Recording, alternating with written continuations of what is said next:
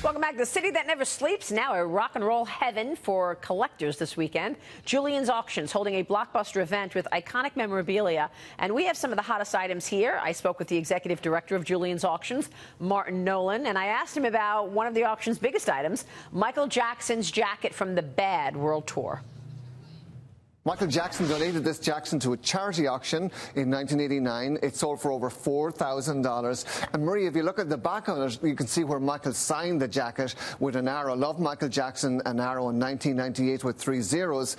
And people believe that Michael used to sign his name with that year on it because he believed that was the year he would sadly pass away. Oh, wow. Yeah. Oh, he, so, he believed that was yeah, the year he yeah. would pass so away. This was 1989. The signature that we could see on this jacket, that's, that's really That's really interesting. Amazing. What's interesting, Marie, as well about this jacket is that we, we sold it in 2009, soon after Michael passed away, for 270,000. So you can see the price oh appreciation oh from 89 to 2009. That's incredible. Here we are again, Hard Rock Cafe this weekend. I think we're going to set another world record. Speaks to these collectibles. People see them as actual investment opportunities. They sure well. do. And one of my favorite things is this Prince guitar. All fans of Prince, I'm a big fan of his. The guitar he played during his final stage performance. Tell us about that. I interviewed Prince, and he was just a sweetheart of a guy. May he rest in peace. Tell me about this guitar. Yeah, and Prince has a, such a, a, loyal fan base worldwide. This is a Collins 290 guitar That's that Prince played in Minnesota, a tribute to Ray Charles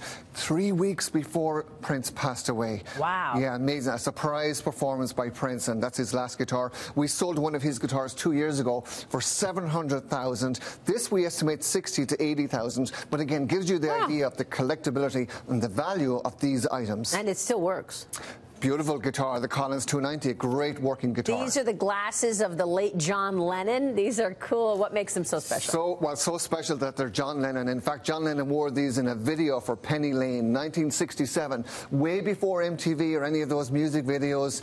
These are fantastic glasses, very iconic, made in Japan with the patent.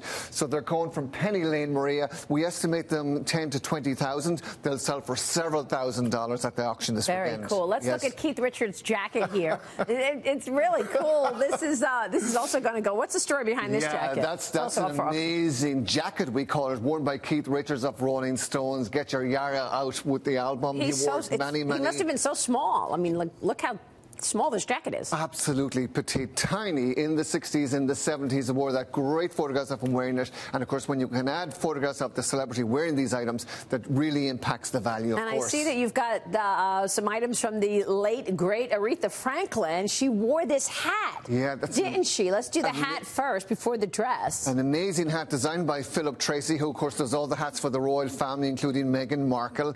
Aretha wore this in 1995 to the grand opening of the Cleveland Rock Hall of Fame estimated 1,000 to 1,500 fantastic monumental hat, so it should sell very well. Aretha, of course, sadly passed away recently. She's getting a lot of R-E-S-P-E-C-T, Maria. she sure is. And she got it with this dress, that's for sure. Talk about monumental. From the Queen of Soul, she wore this ensemble when? What, uh, tell Maria, me about this you ensemble. could wear this today. But Aretha wore this in 1991 here at a performance in New York City. It's an Arnold Scaasi outfit. It's a beautiful red taffeta vest with the romper underneath. And what's really amazing there, if I can show the camera, the lining of this vest actually matches wow. the romper. Arnold she was such a showgirl, huh? yes. Yeah. Aretha loved her style. She was obviously the queen of soul, but also she was a style icon. Yeah, and Arnold Scaasi was great too. He actually did my wedding wedding dress, actually. Yeah. Very good so taste we, to see Maria. I said you could wear this today. we have the lyrics to the song Rocket Man, signed by Elton John, which is pretty incredible as well. So Bernie Taupin worked with Elton John for over 50 years. We have his entire collection coming to the auction block. Rocket Man, such a famous, famous monumental song with nice hand-drawing uh, sketches on the actual lyrics and outlines of drawings and the rocket. So I think the prices for these will, will be out of this world, Maria. All of these items really resonate with, with viewers. People like to, to collect these things, just not use them, but keep them in their home. And, Maria, and, there's uh, so much things happen in the world, bad things, yeah. political, all that, but we have one continuity with entertainment. Yeah. We're all nostalgic. We like to own something from Aretha or Michael Jackson or Prince or whoever because we're keeping their memory alive. Yeah. That's the continuity. No matter what happens in the world, we can always fall back to a movie or an album or a video, and that's what people are holding on to. Thank you, Martin Nolan.